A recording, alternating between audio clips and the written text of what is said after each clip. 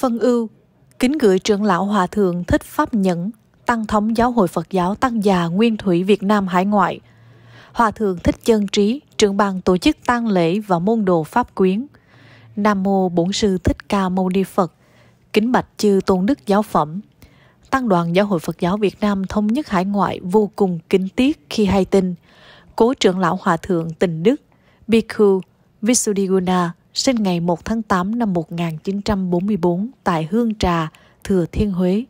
Phó Tăng thống Giáo hội Phật giáo Tăng già Nguyên Thủy Việt Nam Hải ngoại,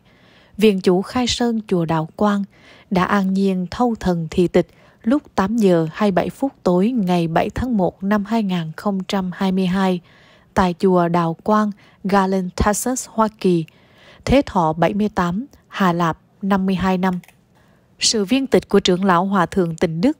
một bậc cao tăng thạc đức có nhiều công đức đối với sứ mệnh hiện dương chánh pháp lời lạc quần sanh đã không chỉ là một mất mát to lớn đối với giáo hội và môn đồ pháp quyến mà còn là một tổn thất đối với toàn thể Phật giáo đồ Việt Nam.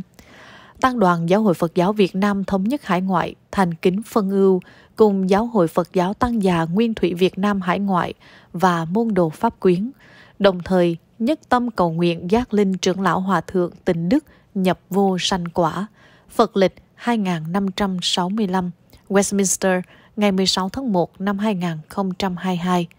Thay mặt Tăng đoàn Giáo hội Phật giáo Việt Nam Thống nhất Hải ngoại,